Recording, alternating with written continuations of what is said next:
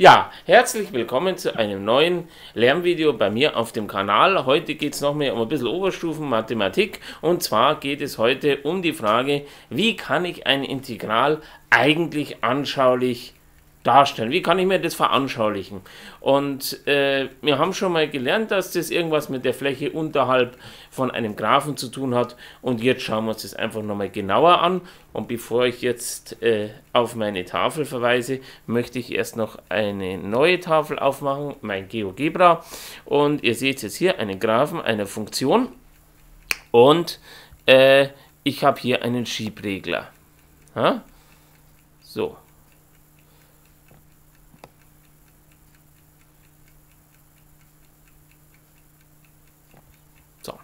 Genau. Und jetzt seht ihr, wenn ich den Schiebregler hier hin und her fahre, dann kann ich da unten die Fläche äh, bestimmen und er zeigt mir auch gleich den Wert dieser Fläche an. Das heißt, wenn ich bei den Schiebregler bei 0 habe, dann habe ich gar keine Fläche. Das heißt, ich kann als Punkt notieren äh, 0 und 0. So, jetzt gehe ich weiter und gehe jetzt auf 1. Man sieht, die Fläche wird größer und bei 1 habe ich die Fläche 2,25. Deswegen kann ich hier hinschreiben 1,2.25. Dann äh, gehen wir nochmal weiter auf 2 und da sehe ich, da ist der Wert 4. Also kann ich hier eingeben äh, 2 und 4 als Punkt. Jetzt äh, gehe ich weiter. Jetzt geht die Fläche nach unten und ihr seht schon, was mit der Fläche passiert. Die wird plötzlich kleiner. Der Wert des Integrals wird kleiner. Und wenn ich jetzt auf 3 gehe, dann hat er wieder den Wert 2,25. Das heißt, bei 3 kann ich wieder 2.25 hinschreiben. Das heißt, was hat jetzt äh, mein... Äh, mein Programm gemacht. Das hat jetzt praktisch von der oberen Fläche, ja, die über der Achse ist, das waren plus 4 Flächeneinheiten, hat sie jetzt diese äh, 1,75 Flächeneinheiten, die jetzt nach unten gehen, abgezogen und so kommt sie wieder auf 2,25.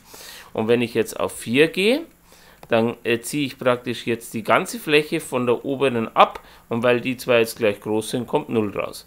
Deswegen kann ich jetzt hier schreiben 4 und 0. So. Okay, so. Und jetzt habe ich hier äh, lauter Punkte gezeichnet und das sind jetzt eigentlich die äh, Werte, die jeweils äh, der Graph äh, besitzt, wenn er praktisch hier äh, praktisch bei einer bestimmten Grenze die Fläche betrachtet. Ja? Und was wichtig ist, ich betrachte nicht die Fläche selber, sondern die Flächenbilanz, weil ich nämlich die Fläche, die über dem äh, Graphen ist, mit dem unterhalb des Graphens verrechne. Sozusagen die oberhalb die Fläche hat den Wert plus und äh, die unterhalb den Wert minus. Und wenn ich jetzt äh, die äh, mir das so anschaue, dann sehe ich, dass der Graph, der sich hier ergibt, gerade der Graph der Stammfunktion ist. Ja? Da liegen jetzt alle Punkte, die ich geschrieben habe, drauf und praktisch diese, dieser violette Graph, der ist praktisch jetzt, zeigt mir praktisch die Flächenbilanz an, die also der, äh, die jetzt praktisch besteht, wenn ich die Fläche äh, zwischen der x-Achse und dem Funktionsgraphen betrachte. Das wäre jetzt das, was ich aus diesem hier herausziehen kann. Und mit diesem Wissen gehen wir jetzt bitte hier rein. Also, wir schauen uns jetzt genau das gleiche Beispiel nochmal an.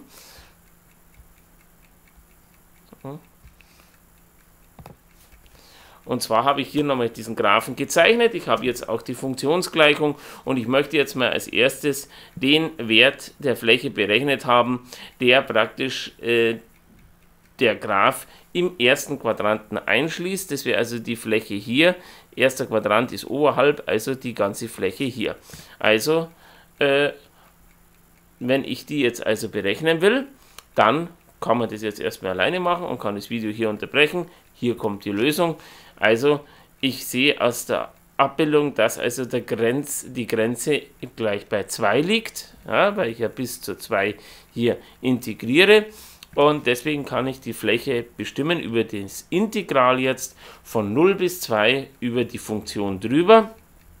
Jetzt muss ich das mit der bekannten x hoch n Regel äh, integrieren. Das heißt, äh, x hoch 3 wird zu x hoch 4 Viertel. Äh, x Quadrat ist integriert x hoch 3 Drittel. Äh, 6 durch 3 ist 2, deswegen kriege ich hier 2x hoch 3. Und jetzt kriege ich hinten äh, 8x integriert. Wäre x integriert ist x Quadrat halbe. 8 durch 2 ist 4, deswegen steht hier 4x Quadrat. So, und jetzt kann ich eben das so ausrechnen, indem ich erst die obere Grenze einsetze und das dann minus der unteren Grenze rechne. Ja? Und dann komme ich auf die vier Flächeneinheiten und die kommen uns bekannt vor, die hatten wir ja vorher für diese Fläche auch. So, und jetzt möchte ich noch den Flächeninhalt berechnen im nächsten, in der nächsten Aufgabe. Ja?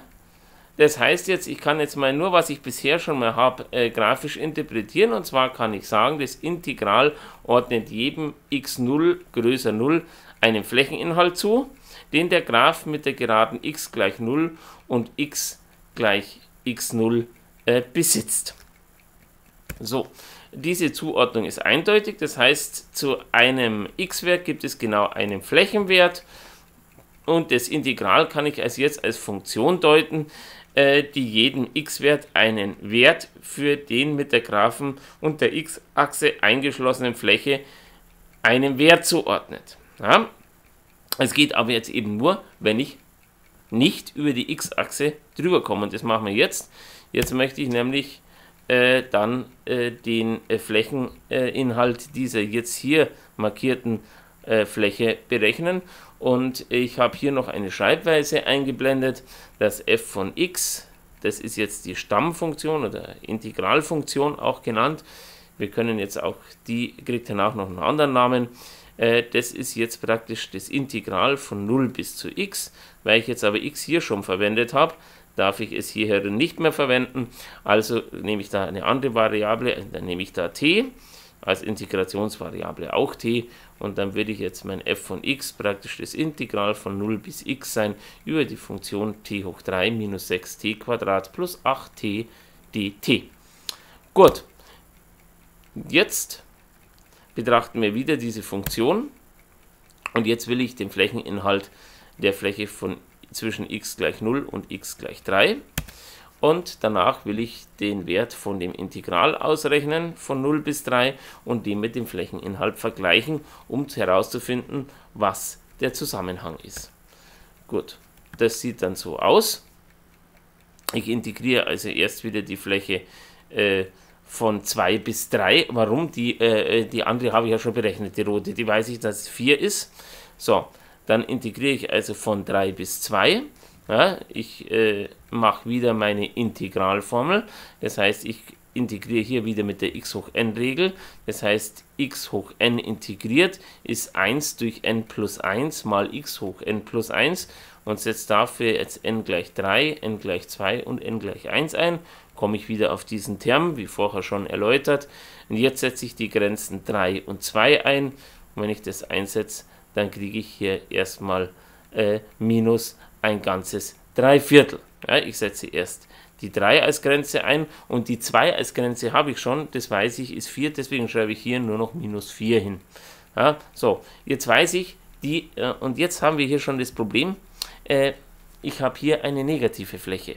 Ja, warum? Klar, weil sie unterhalb der x-Achse liegt. Deswegen ist der Wert negativ. Wenn ich jetzt aber den Flächeninhalt dieser Fläche beschreibe, Flächeninhalt ist ja eigentlich eine Fläche immer eine positive Größe.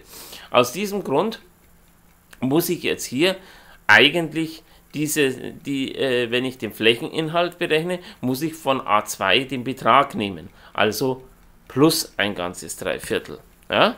Und das heißt, ich muss also zu dem Flächeninhalt, den ich vorher hatte, die rote Fläche, die war ja 4, da addiere ich jetzt noch diese Fläche einen Dreiviertel dazu und lande bei 5 ganzen und 3 Viertel Flächeneinheiten. So, jetzt wenn ich das Integral ausrechne von 0 bis 3, machen wir wieder äh, in der Klammer die, äh, die Integralfunktion, die wir dadurch kriegen, dass wir wieder diese x hoch n Regel anwenden und äh, wenn ich jetzt das auswerte, dann setze ich erstmal für die obere Grenze überall eine 3 ein und äh, für die untere eine 0. Und wenn ich 0 einsetze, dann kommt insgesamt hinten 0 raus, so dass ich also jetzt für meinen Wert, wie vorher schon äh, der, ihr erinnert euch noch, wie wir das mit GeoGebra gemacht haben, äh, 2 ein Viertel rauskommt.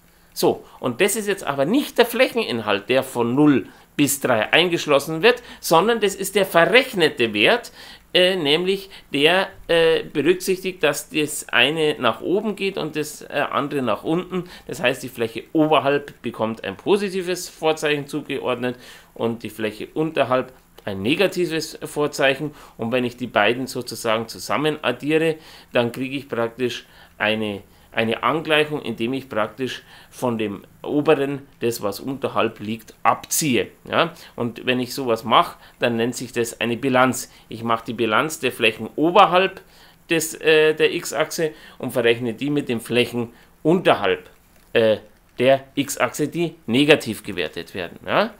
Also ich sehe, auf diesem Grund ist der Integralwert kleiner als der Wert der eingeschlossenen Fläche. Ja? Und äh, bei der Integralrechnung wird der Flächeninhalt unterhalb der x-Achse subtrahiert und nicht addiert. Das heißt, ich bilde nicht den Flächeninhalt, sondern ich bilde die Flächenbilanz.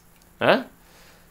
Das heißt, äh, das Integral summiert jetzt alle mit, dem, mit der Geraden x gleich 0 und x gleich b der x-Achse eingeschlossenen Flächeninhalte. Und zwar egal, ob deren in, äh, Vorzeichen positiv oder negativ ist. Ja? Und wie gesagt, daher werden Flächeninhalte, die jetzt unterhalb der x-Achse sind, mit einem negativen Vorzeichen versehen und die anderen, die oberhalb sind, also wie die rote Fläche, die bekommen ein positives Vorzeichen. Und wenn ich das jetzt eben zusammenrechne, dann kann ich äh, grafisch äh, dann festhalten, dass dem Integral äh, jeden x-Wert zwischen 0 und b den Wert der Flächenbilanz zwischen den Grenzen 0 und b zuordnet. Ja? Und damit hat also jetzt diese äh, Funktion, diese äh, Funktion groß f, ja, deren Graphen wir ja vorher auch schon gesehen haben, der beinhaltet jetzt wieder nichts anderes als letztendlich die Flächenbilanz. Das heißt, ein Integral äh, veranschaulicht immer die Flächenbilanz.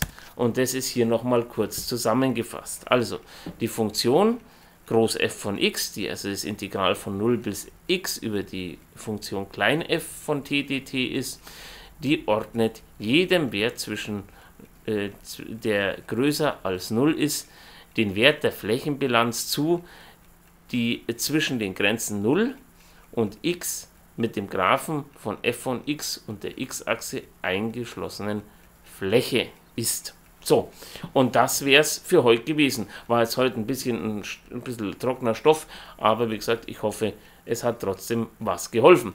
Wie gesagt, ansonsten würde ich mich freuen, wenn ihr wieder mal bei mir im Kanal reinschaut. Ich verabschiede mich für heute, wünsche euch eine gute Zeit, bis zum nächsten Mal. Würde mich freuen, wenn wir uns wiedersehen. Bis dahin sage ich Servus.